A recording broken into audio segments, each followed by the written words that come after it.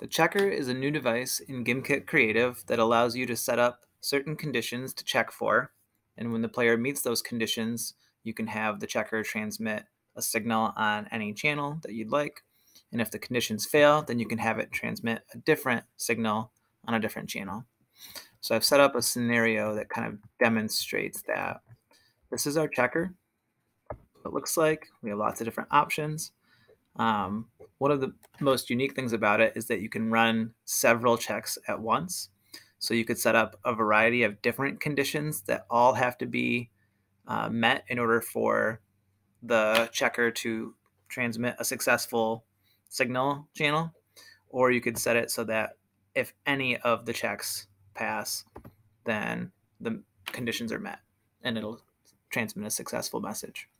So here's what that looks like in action. I set up four different buttons.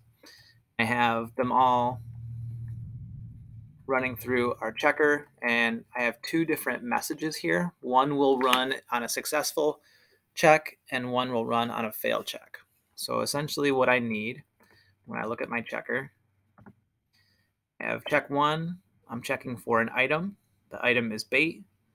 Uh, I can set it up less than, equal to, or greater than a number. So I was going to have it equal to 3, but I decided to go with greater than 2 because in the case that someone gets more than 3, that's what I still want to grant that as a successful condition met.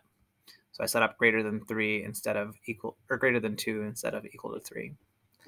Check 2 is the same except the item is the banana and check 3 is the same but the item is a beach fish. So you can see each of these buttons is going to grant me the items and this button right here is going to check to see if I have um, all of those conditions met. So let's see it in action. If I go right to my checking button, a message that pops up says you're missing some stuff, seems like. You need to find that missing stuff, bud. So that's our failed message. We haven't met all the conditions in that checker. If I go to my first button, I'll get some bait, and I'll just go ahead and do that three times. I'll do the same with this one. Banana, banana, banana.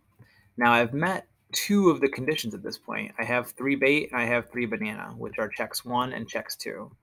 So if I go here and interact, I still get that message, that fail message. You're missing some stuff, seems like if I go to this third button and meet my third condition, that message should change. And now I've met all three conditions. I go back and check again, and I pass this, te this test. Great job collecting stuff, bud. So you can see that this checker provides a unique opportunity for game mechanics in your game that um, can take into account lots of different things in the game that you want to track.